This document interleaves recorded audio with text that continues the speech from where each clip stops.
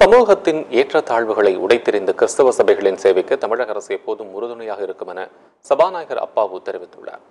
பாளையங்கோட்டை மறை மாவட்டம் சார்பில் திருநெல்வேலி சமூக சேவை சங்கத்தின் பொன்விழா கொண்டாட்டம் நடைபெற்றது.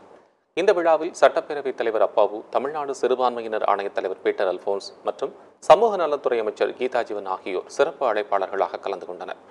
விழாவில் பேசிய சபாநாயகர் அப்பாவு ஆரம்ப காலத்தில் பல்வேறு ஏற்றத்தாழ்வுகள் அடிமைத்தனம் இருந்து வந்ததை சுட்டிக்காட்டினார். கிறிஸ்தவ சபையால் அனைவருக்கும் கல்வி கிடைக்கும் நிலை உருவாகியுள்ளது என்று கூறியவர்.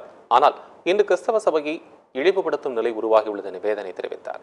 முந்தைய சமுதாய நிலையை தற்போது வரும் சந்ததியினருக்கு சொல்ல வேண்டும் என்றும் அவர் கூறினார். சாதி மதத்திற்கு அப்பாற்பட்டு கிறிஸ்தவ சபைகளின் சேவையின் பரிணாம வளர்ச்சியே திராவிட இயக்கம் என்றும் சபாநாயகர் அப்பாவு தெரிவித்தார்.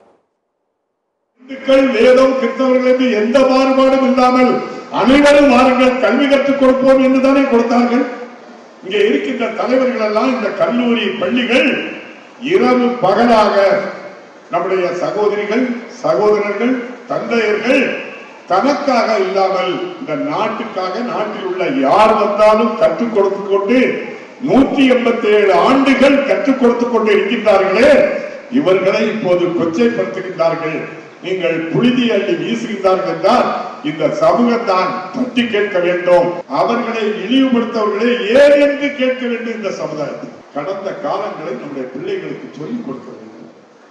நேற்று வரை என்ன நடந்தது என்று சொல்லிக் கொடுக்க தொடர்ந்து பேசிய சிறுபான்மையினர் ஆணைய தலைவர் பீட்டர் அல்போன்ஸ் அதிகார உச்சத்தில் இருப்பவர்கள் இந்த நாடு மதம் சார்ந்த நாடு என்று கூறுகிறார்கள் என்றும் இது ஜனநாயகத்தை கேள்விக்குறியாக்கும் செயலாகும் எனவும் கூறினார்.